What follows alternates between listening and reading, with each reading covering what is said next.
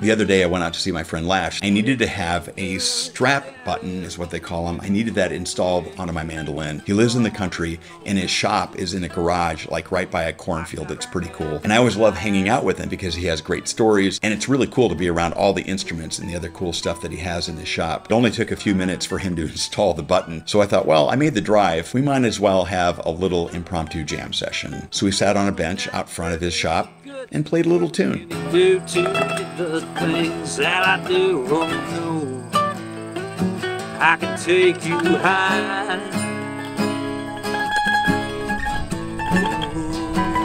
Oh, I'm on fire.